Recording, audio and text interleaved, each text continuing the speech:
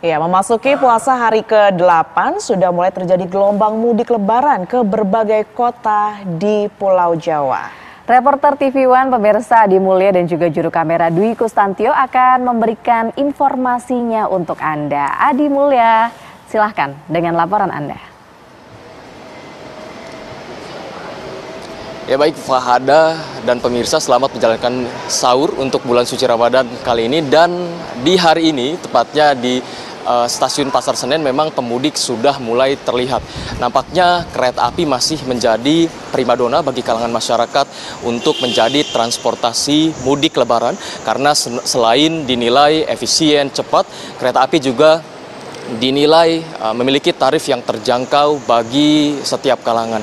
Per hari ini sekitar 455 ribu tiket kereta api untuk masa angkutan mudik lebaran telah habis terjual. Kendati pihak uh, PT Kereta Api Indonesia telah menyiapkan 1 juta tiket kereta api untuk mudik lebaran dan 455 ribu tadi telah laku terjual. Untuk kali ini di tempat saya mengabarkan, tepatnya di stasiun Pasar Senen, uh, telah terjadi pemudik uh, yang lebih dulu untuk melangsungkan mudik lebaran demi merayakan Hari Idul Fitri. Nah, kali ini Fahada dan juga pemirsa, kami akan mencari tahu nih pemudik yang akan melakukan mudik lebih dulu di luar dari masa-masa tanggal mudik lebaran. Nampaknya di sini memang uh, sudah ada beberapa pemudik yang hadir di stasiun Pasar Senen untuk melangsungkan mudik lebaran. Nah, sepertinya ada bapak-bapak yang akan melaksanakan mudik nih, pemirsa.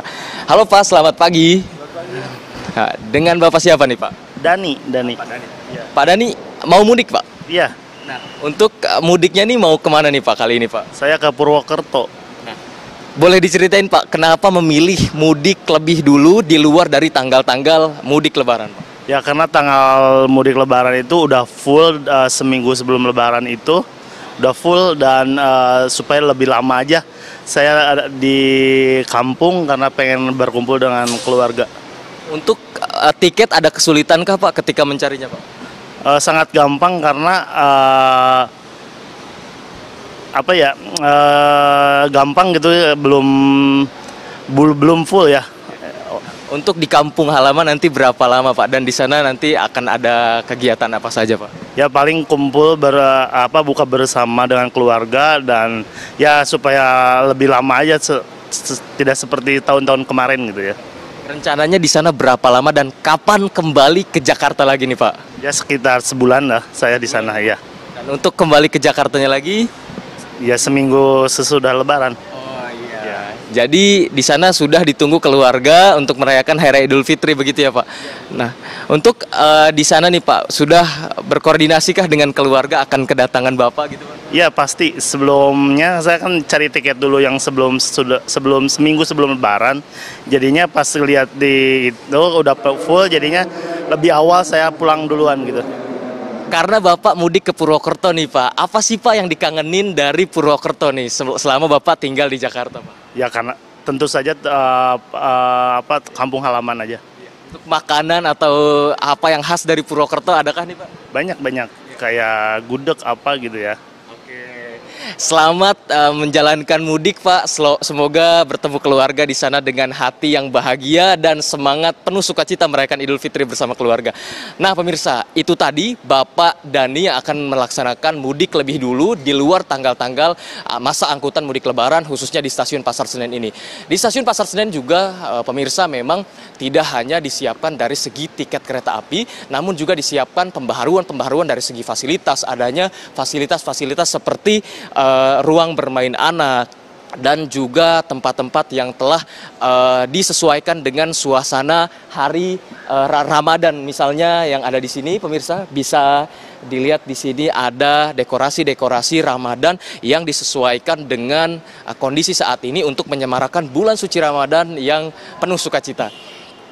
Nah, pemirsa, ini dia ornamen-ornamen Ramadan yang disiapkan oleh PT Kereta Api Indonesia, di mana di sini ada ketupat, ada juga gambar-gambar yang telah disesuaikan dengan kondisi Ramadan kali ini. Di belakang saya juga masih terlihat pemirsa kepadatan pemudik yang nampaknya akan melakukan uh, mudik lebih awal, di antaranya di sana ada yang sedang duduk-duduk, karena memang mudik lebih awal ini selain uh, mendapatkan keuntungan-keuntungan dari uh, lenggangnya perjalanan, namun juga ada kelebihan-kelebihan seperti mendapatkan tiket yang tidak terlalu sulit dikarenakan tiket belum full book.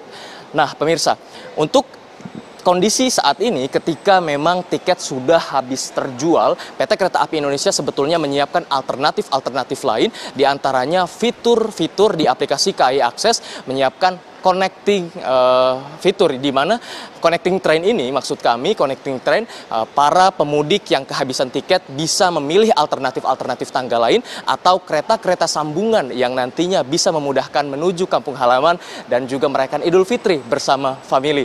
Demikian pemirsa.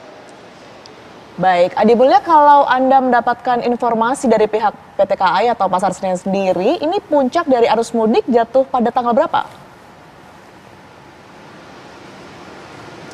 Ya baik, Fahada dan juga pemirsa memang puncak arus mudik dari PT Kereta Api Indonesia dikonfirmasi ada di Hamin 5 sampai dengan Hamin 1 Hari Raya Idul Fitri. Di situ memang disebut masa angkutan lebaran di mana pemudik di situ akan terlihat lebih padat dari sekarang karena sekarang memang masih pemudik uh, yang melaksanakan mudik lebih dulu. Begitu Fahada dan juga pemirsa. Mulia, ini kan masih sekitar pukul setengah tiga pagi ya. Betul. Ada aktivitas sahur nggak sih yang Anda lihat di stasiun Pasar Senen Jakarta?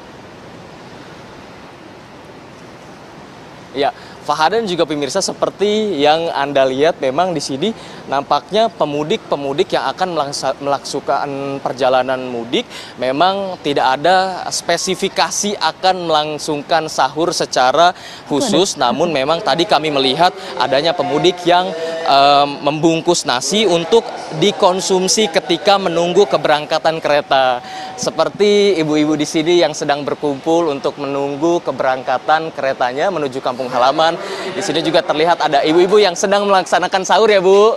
Uh, ibu dari mana Bu asalnya Bu? Dari Citerep. Ini mau mudik Bu atau mau mau mudik? Mudiknya ke? Ke Purworejo. Nah di sana rencananya akan berapa lama Bu? Lumayan lama sih. Oh, lumayan lama. Kembali ke Jakartanya lagi kapan? Sekitar tanggal 4, tanggal 5 lah. Nah, pemirsa, itu tadi bersama ibu-ibu yang tengah melaksanakan sahur. Uh, jelas, walaupun pemudik kali ini melangsungkan mudik, tetapi tidak menyurutkan mereka untuk melaksanakan ibadah puasa dan menjalankan sahur sebagaimana mestinya. Begitu Fahada dan juga pemirsa. Baik, Adi, kalau boleh diinformasikan juga, ini untuk kereta terpagi dari stasiun Pasar Senen ini pukul berapa?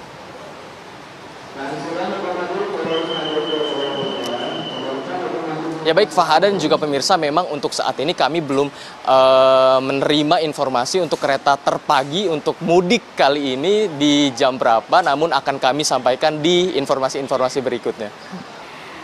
Adi, Adi uh, untuk saat ini syarat melakukan perjalanan kereta api masih sama atau ada perubahan sih terutama di masa mudik lebaran ini?